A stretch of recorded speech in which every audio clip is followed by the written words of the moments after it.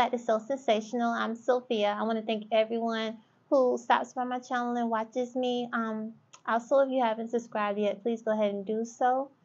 Um, it'll help me out a whole lot. Also, like. So just subscribe and like. But I do appreciate you for stopping by, even if you don't do either. I still appreciate you.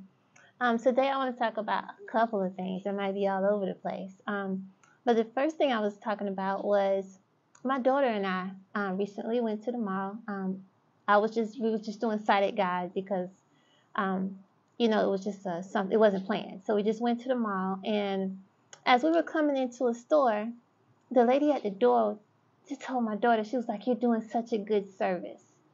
And my daughter, she thought this was hilarious. She looked back at me, was like, "Why are you looking like that? I am doing a good service." And my only thing is, people say things like that around people with disabilities, and, and I, I don't think it's done out of malice, but I also don't think that you think about what you're saying before you say it. Like, like why she had to go and ruin my day. Um, we were out together having a good time. I'm walking with her, and I don't know what it is that make people think that people with disabilities are um, necessarily unhappy or sad, because um, I'm neither. And the people that I work with who have a visual impairment are neither sad either. You know, if they do, it's not anything that they're broadcasting anywhere. You know, their their everyday life, they're working. Um, but back to me, I'm working. I'm in the mall and I'm shopping, and you're acting like somebody's doing me um, a big favor. So I asked somebody, I was like, why do people? Because there was another instance. I was speaking with one of their directors, at my job and she said she was um telling somebody what she does for a living you know and they were like oh my god you doing you you know like she was just the salt of the earth. And you know she was like you know i appreciate that but the people that i work with they're working too. Like everybody's making a paycheck. You know we're out to do uh better good for the whole community but the people that i work with is i'm, I'm not doing them any favors. Um and i asked i was like why do people think that blindness is one of the worst things to be. And someone told me it's basically because people can't imagine living in a world of darkness all the time. And I get it.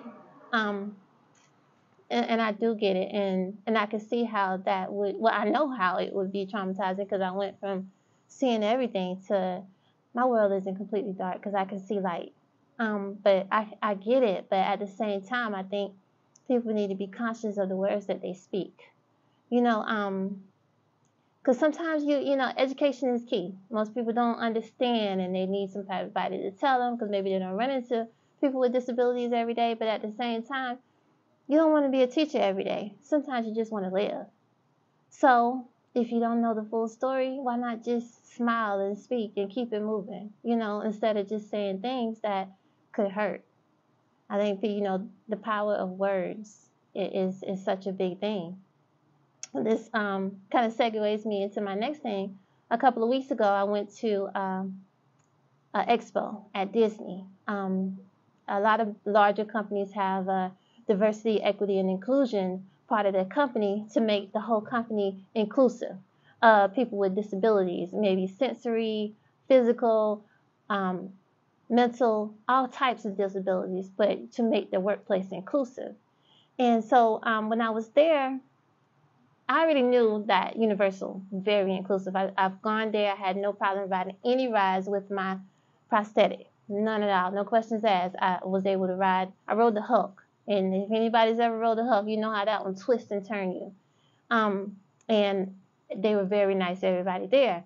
Disney, I went once, um, and this time when I went to this expo, and they were telling all of the things that they had. So they had these headsets that you can wear. You can also plug it into your earbud, earbud so it's Bluetooth, and it tells you like um, Magic Kingdom straight ahead, whatever restaurants to the right or the left of you, um, what type of food they sell, and I'm like, this is amazing.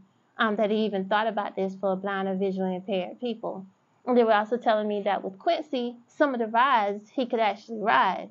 Um, of course, I wouldn't put Quincy on the ride because he I just wouldn't. Um, but they were like, you know, if not, there's crates at the rides, and you can put the dog in the crate until you get back from the ride and come pick him up. Or, you know, whoever you's with you are with, they can stay with the dog and they don't have to wait in line. They, you know, as soon as you come back, they'll get on the ride. But I was like, all of this making things inclusive for everyone. Um, just you know that company itself.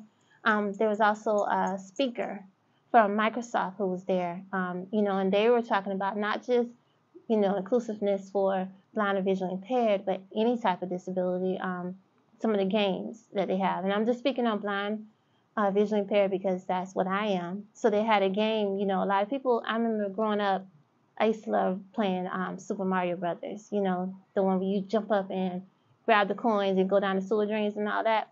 Well, they also have driving games. And, you know, blind and visually impaired people normally can't do that. But Microsoft has actually um, made a game that visually impaired people can drive these cars with um, the game controller. Um, so I, I don't know how it works because I haven't tried it yet. I'm not a gamer. Um, but I, I do that is something that I do want to try. Um, like I said, a lot of these, a lot of these larger companies um, have these diversity, equity, and inclusion groups. I know I was doing a fellowship with um, Bristol Myers Squibb um, for sourcing and recruiting, recruiting, and they also have a very large one with all different types of groups. So it's not just disabilities; it's for um, LGBTQ, um, uh, Black, African American, Spanish, like any kind of group that anyone can fall into. These companies have these groups to make sure that everyone is feeling like they are um, recognized and represented. Um, which is why I do these videos also because I feel like representation is a big thing. If you can see someone else who um, looks like you, maybe has a prosthetic like like you or blind like you, living and doing things, that can be a very big inspiration. Um, so I guess just to round it all out, just because you see with someone with a disability doesn't mean that you know they're struggling. Um, you know, because I'm perfectly happy um, with what I have going on. I actually think, like I said before, it's kind of mixed blessing. I, I think I'm doing better now that um, I'm blind. Now, maybe you could the, the amputation and my blindness together, is it does it make life a little bit harder? Yes, I would be lying if I said it didn't. It does make it a little bit harder, but I'm up for the challenge, um, and I'm doing it. And as long as they make these cute little sh- shells right here, I have no problem with my my disability at all. Um, as I said before, once before when I first had my amputation, I didn't want anyone to know. Um, and I would go online to because I, I, I figured that oh my God I already went through a big life change and here I am with another one that's gonna make me stand out even more. But I'm I'm so okay with it. You know, uh, one thing I learned in the expo, well not that I learned, but I heard, was that you know disability isn't a bad word, and and I think it just, it depends on how it's said, right? Just like with anything, it's not what you say, but how you say it.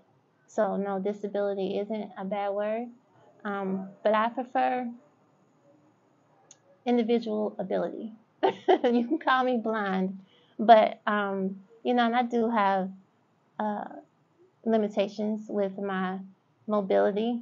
Um, not many, you know, I can still um, get out. Um, as, as, I learned doing physical therapy the other day, I can do squats. So you know, everything is relative. So, with that in mind, the biggest thing is be kind. Be careful of what you say. Words hurt. Um, and about it. So, I do want to thank you again for tuning in to So Sensational. I appreciate each and every one of you. Again, if you're looking, go ahead and subscribe and like, and I'll talk to you later. All right, go ahead and test the mic out. Uh, microphone check one two one two. Sophia's on the mic. Yes, you can do. All right, we can ask for that.